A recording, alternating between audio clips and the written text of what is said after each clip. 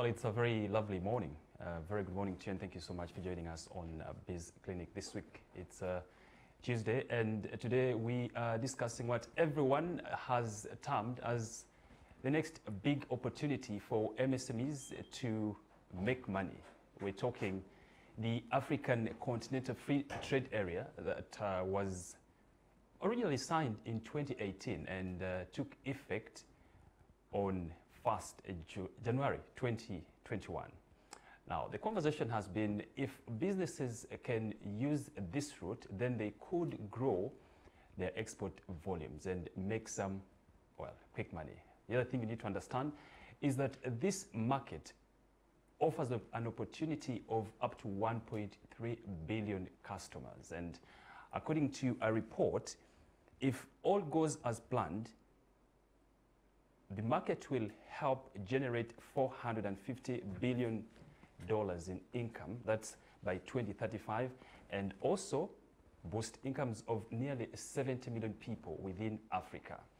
Look, I don't have to say so much because I have a guy here that has been writing a lot about the Continental Free Trade Area. Edward, thank you so much for joining us on the set this morning. A very good morning to you. Good morning. What else do you want to tell us about the Continental Free Trade Area? Well, in relation to uh, micro, small, and medium enterprises, uh, the Continental Free Trade Area is a very good opportunity uh, for many of these enterprises.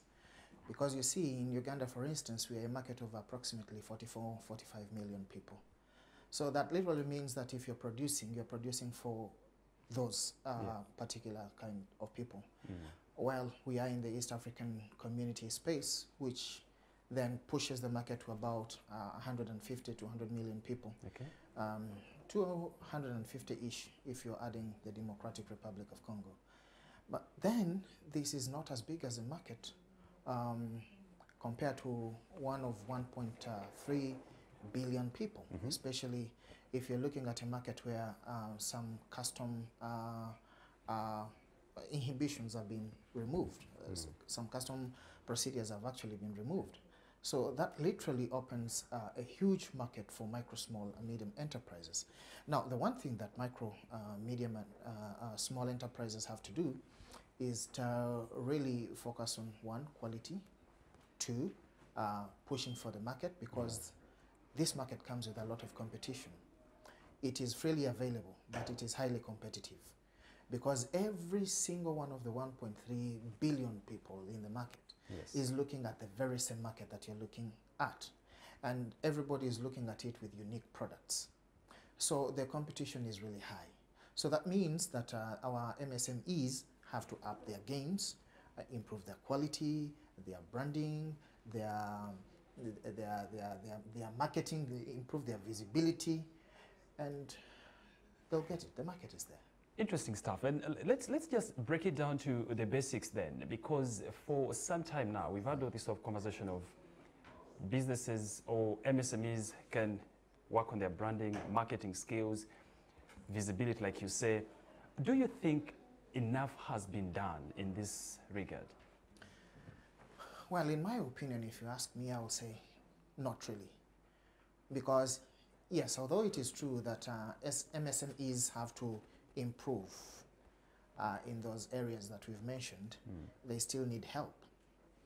Because you see, our traditional branding is just that one. Why you, that so? you, you, you pack your things in the best way that you can mm -hmm. and you take to the market and everybody knows Simon is producing from there and they'll buy informally. We are a highly informal market. So some of these things like uh, branding, mm. we look at them as being quite foreign. And even when we are doing them, we do not have very good experts in that area. Mm. So I believe what needs to be done is to help the people who are producing uh, specifically for this market, because this is what we're talking about, they have to be helped to improve.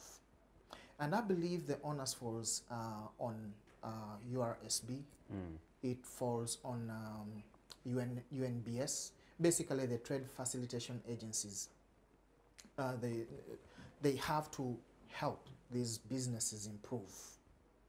But not much has been done to help them improve. Mm. Uh, I've uh, often been hearing um, the ministers, especially one of trade, and also the Minister of Finance. I've, I've had them telling uh, these people, you know, improve your visibility, improve your, your, your, your, your, your standards, improve, I mean, your quality, improve uh, your, your, your, your, your, your, your, Branding? your branding. Sorry, the word had run away. Improve your branding. but it's not just about talking, it's about also going down to help them to improve because this is uh, also a national thing. Because the more we export, the more we improve back at home. All right? Yes. The more we improve our GDP, the more we improve quite a lot of things. So it's all about all of us coming together, the people who are producing for this market, um, the private sector foundation, for instance. I, I know for a fact that there is a program at the private sector foundation to train uh, 200 export-ready entities Okay. for the Africa continental market. This is a good step. But we have more than 200 Mm. who is going to help the others. 200 is just very little. Okay? We are looking at a very big opportunity where we need to look at thousands and thousands of entities exporting to that market. Mm. And, and, and we are only talking about 200 and it is the private sector. So I believe government has to come in somewhere. There has to be a deliberate effort to help people who are looking at exporting to this market, to help them improve and be highly competitive. It's the only way we shall reach there. Because look at brands that come from places like South Africa. Mm. Look at brands that come from places like Kenya. They are really doing well. To compete with them, you have to be helped. You can't start from nowhere and catch them. Interesting stuff. And uh, you talk about quality, or you mentioned it at the start of the conversation, and I'm just here thinking, you know, after COVID, almost everyone then thought about if I have lost my job, then I can try uh, something now. Before you realize they're telling you there's um, a market that could take up your goods. So what do you do? Sit back home, think of an idea, start what is a business. Quality is like the last thing you want to think about because all you want is uh, to make money. And, and maybe this is where we need to understand for the people watching that are running these businesses. Should you look, about, look at how to make profits fast over the quality of goods you're going to put on the market? And uh, what are some of the things that you need to, to pay attention to when you say quality? Vis-a-vis, you mentioned South Africa, Kenya, where people pay attention to detail before putting things on the market. Well, um, to answer your question, I'll answer it like this. Um, if you're starting a business, profit should not be your main focus from the onset. From the onset, it should be quality because quality brings profit. It's not the other way around. Mm. If you have a product and then your customers take it and this product is of low quality, you're losing them. And every day you're losing more and more customers.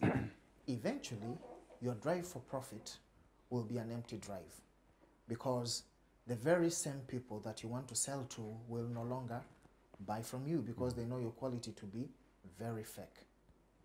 I'll give you an example. Some time back, I went to a shop to buy a shirt.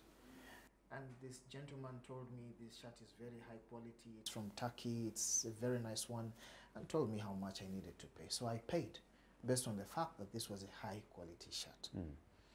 When I reached home, I put it on. Uh, in about a few months, it had started getting torn at the collar. In two months, and then I started wondering: Is this the high quality that I was promised from Turkey? Because we all know things that come from Turkey are usually high quality and I never went back to that shop. I never went back to that shop just based on that.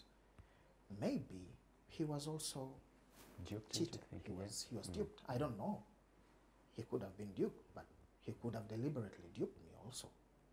So quality is paramount in sustaining your market. Mm. So the most important step to start with is the quality of the product. Now, what do you check for in the quality of the product? It depends on the product.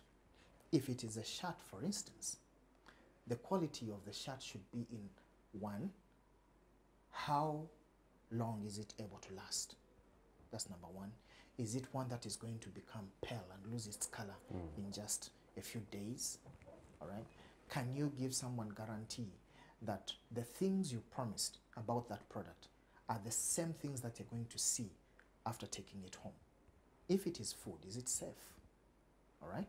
Does it meet the phytosanitary standards that are specified in that particular market? Mm. Because these standards differ from market to market. What we take in Africa is not what they take in Israel. Israel, the standards are extremely high.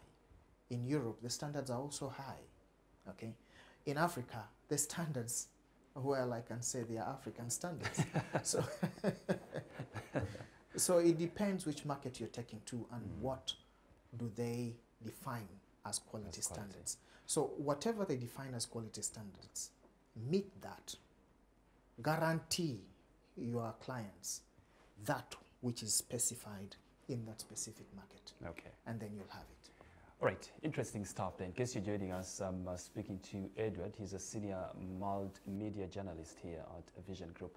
And this morning we're discussing whether or not MSMEs are ready to tap into the African Continental Free Trade Area, which has been viewed as a market for 1.3 billion people. Well, from the onset, 1.3 billion people sounds like a huge number. The question, however, is what can government then do right now? You talked about UNBS already stepping out to help the people. Private sector foundation is equally training some people. I overheard someone say UNBS reduced on the cost of certifying their products. Is that all we need? Not really. that is a step in a good direction because one of the limitations to that have been there for um, especially micro um entities Yeah. that has been limiting them from obtaining these standards has been partly cost. So if the cost is slashed, that's a step in a good direction because it's encouraging many of these uh, businesses to come on board Mm. to, to acquire these standards and therefore uh, im- improve their products, improve production and their production processes.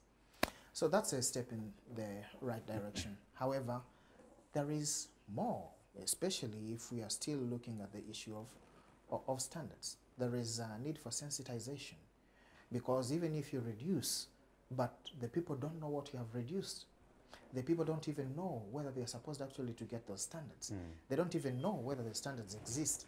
So then, how is it all supposed to play out?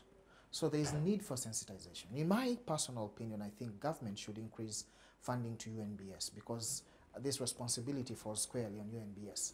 But uh, if you look uh, in the budget for UNBS on any given year, you re- you'll even wonder how they survive It's constant. because the, the, the budget is uh, minute. Uh, my, my, my daughter says cartoon. the, the budget is cartoon. All right.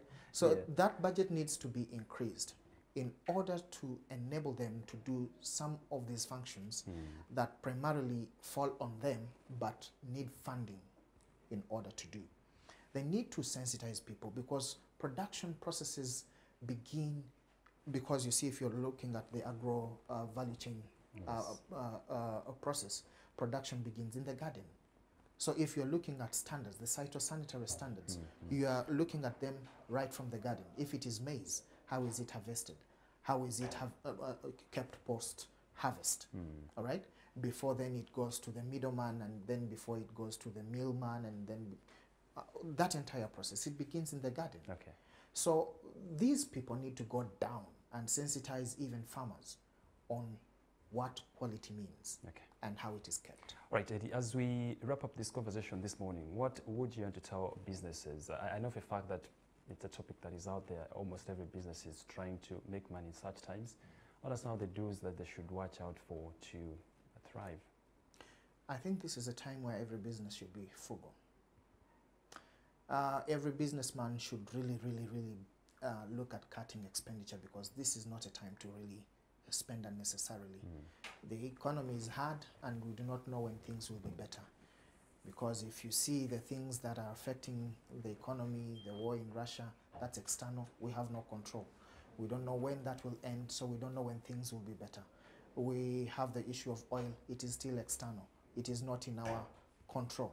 We do not know when these OPEC guys will finally say, okay, let us put more oil on the market, and Mm. therefore the prices reduce even up to places like Uganda. So everybody needs to be frugal. You need to really cut that expenditure. Okay. Second thing is uh, improve on, on, on, on advertising if you can. Um, there, are- there is a digital space which is extremely good.